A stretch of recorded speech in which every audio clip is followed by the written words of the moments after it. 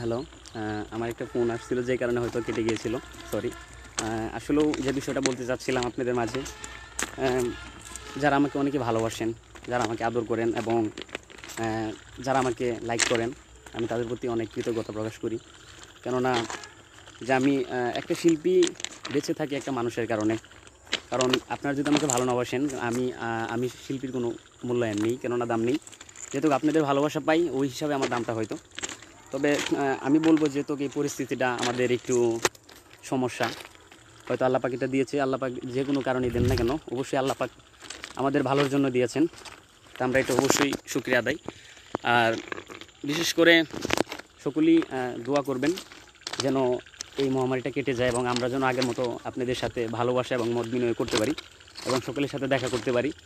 অনেক দিন যাবৎ হয়তো অনেকেই আছেন যাদের সাথে দেখা হয় না। আপনাদেরও হয়তো ভালোবাসার অনেকেই আছেন যাদের সাথে হয়তো আপনাদের দেখা হয় না। সেটা আপনাদেরও একটা কষ্টের বিষয় আমরা আমাদেরও একটা কষ্টের বিষয় কারণ আমরা হয়তো আপনাদের মাঝখানে যেতে পারি না। তারপরেও হয়তো পেজ লাইভ আছে কিংবা ফেসবুক লাইভ আছে যে কারণে ওইগুলোর মাধ্যমে হয়তো আপনাদের সাথে আমরা দেখা এবং কথা টথা বলতে পারি। হয়তো এটা ভালো লাগে। আর সবচেয়ে বড় বিষয় হলো আমি বলেছিলাম "হুম, ঘরেরও কিনারে যখন লয়ে যায় কাঁদিয়ে সবাই পরাণ ছেঁচতে চাই ঘরেরও কিনারে যখন লয়ে যায়, কাঁদিয়ে সবাই পরাণ ছেঁচতে চাই ফকির লালন বলে কারও, ঘরে কেউ না যায়। লালন বলে কারও, ঘরে কেউ না যায়। এ ভব পীড়িতের থাকিতে মন হয় একাকি, আল্লাহ বলো। মনে রে পাখি একবার, মাওলা বলো। মনে রে পাখি।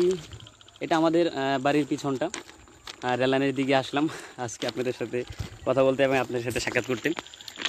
আসলেও ফকির লালন সাজির গানটি ঘরেরও কিনারে যখন লয়ে যায় কাঁদিয়ে সবাই পরাণ চাষতে চায়। আসলে বিষয়টা হলো কি, আসলে বিষয়টা হলো কি, ঘরেরও কিনারে যখন লয়ে যায়। একটা মানুষ যখন মারা যায়, ঘরেরও কিনারে যখন তাদের বাড়ির উঠানে যখন নিয়ে যায় কাঁদিয়ে সবাই, তার আত্মীয় স্বজন কিংবা যারা, আসলে আমরা একজন মারা গেলে হয়তো আমরা অনেক কাঁদি, কে জন্য কাঁদি? যে আমাদের তো হয়তো একদিন যেতে হবে পৃথিবী ছেড়ে। তবে ওই হিসেবে ঘরেরও কিনারে যখন লয়ে যায় কাঁদিয়ে সবাই পরাণ চেষ্টা চাই ফকির লালন বলে কারও, ঘরে কেউ না যায়। আসলে অর্থাৎ ঘরেরও কিনারে যখন লয়ে যায়, কাঁদিয়ে সবাই পরাণ চেষ্টা চাই যখন একটা মানুষ যদি মারা যায়, তখন তার ঘরের কাছে যখন নিয়ে যায়, তার আত্মীয় স্বজন, অনেকেই মানে যখন মানে কবরের কাছে কাছে নিয়ে যায়, তখন অনেকেই কাঁদে তার আত্মীয় স্বজন কিংবা যারা মনে করে যে আমি তো আমিও একজন মুসলমান, হয়তো আমারও একদিন কিংবা আমি একজন মানুষ, আমার একদিন মরতে হবে। সেই চিন্তাটা করে হয়তো অনেকে কাঁদে। ঘরেরও কিনারে যখন রয়ে যায় কাঁদিয়ে সবাই পরাণ চুষতে চায় ফকির লালন বলে মন, ঘরে কেউ না যায়। অর্থাৎ লালন সাইজি এটাই বলেছেন যে, ফকির লালন বলে কারও, ঘরে কেউ না যায়। লালন বলে কারও, ঘরে কেউ না যায়। থাকিতে মন হয় একাকি। অর্থাৎ যে ব্যক্তি মৃত্যুবরণ করে একমাত্র, সে ব্যক্তি কবরে যায়।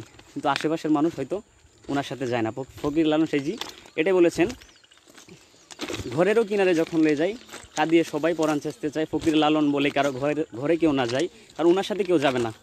আপনি যদি আজকে মারা যান, হয়তো আপনার একাই যেতে হবে ওই কবরটাই, ওই ঘরটাই। কিংবা আমি যদি আজকে মারা যাই, হয়তো আমারও এই ঘরটায় যেতে হবে, আমার সাথে কেউ যাবে না। তাই এটা বলা হয়েছে, আমার একাই থাকতে হবে ওই ঘর- ঘরটাই। তো ফকির লালন সেজি গানে এটাই বলেছে। তবে আমি মনে করব সকলেই যেখানে আছেন না কেন, ভালো থাকবেন। এবং এই পৃথিবীতে হয়তো আমরা এক সময় কেউই থাকব না। হয়তো আজকে আমার যতটুকু বয়স না কেন, আমি হয়তো যখন বড় হব কিংবা মানুষের এক সেকেন্ডের কোনো বিশ্বাস নেই, মানুষ যে কোনো টাইমে মানুষ মারা যেতে পারে।